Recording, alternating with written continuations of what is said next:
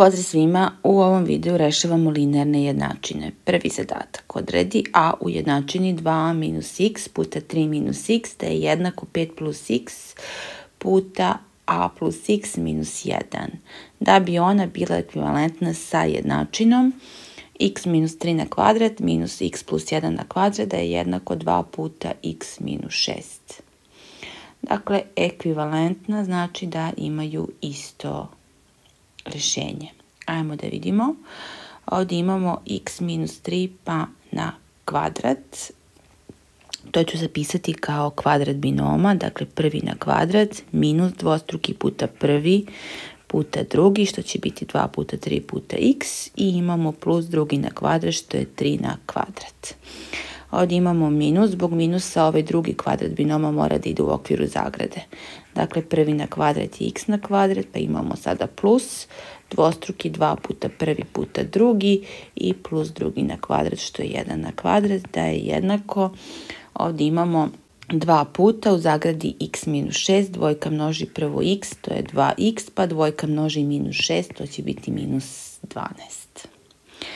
Sređujemo ovaj kvadrat binoma, dakle x na kvadrat minus, ovdje imamo 6x plus 9, minus, možemo se ovdje usputi osloboditi ove zagrade, dakle minus x na kvadrat, kad se ovo pomnožim to je 2x, a kad se oslobodim zagrade to će biti minus 2x, 1 na kvadrat je 1, odnosno kad se oslobodimo zagrade bit će minus 1, da je jednako 2x minus 12 x na kvadrat minus x na kvadrat se skrati, daje nulu. Ostaje mi minus 6x minus 2x.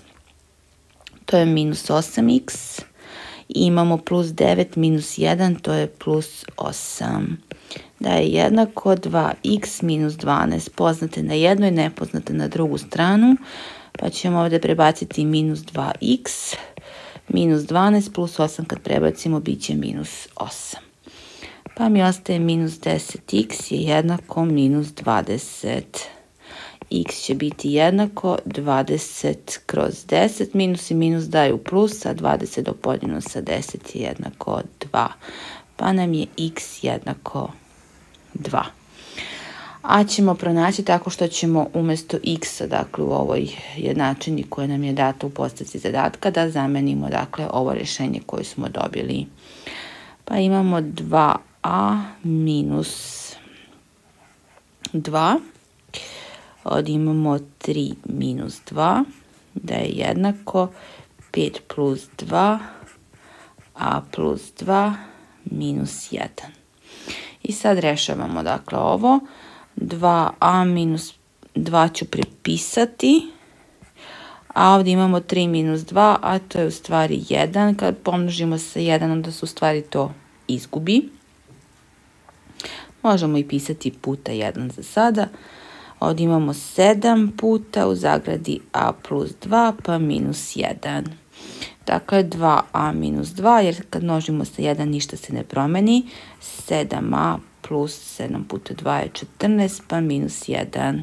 2a minus 2 je jednako 7a, ovo je plus 13 poznate na jednu, nepoznate na drugu stranu. Dakle, 2a kad 7 prebacim, bit će minus 7a je jednako 13, a ovdje kad prebacimo minus 2, bit će plus 2. 2a minus 7a, to je minus 5a, je jednako 13 plus 2 je 15. Pa je a jednako 15 kroz minus 5, a a će biti jednako minus 3. Dakle, ukoliko su ove dve jednačine ekvivalentne, odnosno imaju isto rješenje x je jednako 2, onda je a jednako minus 3.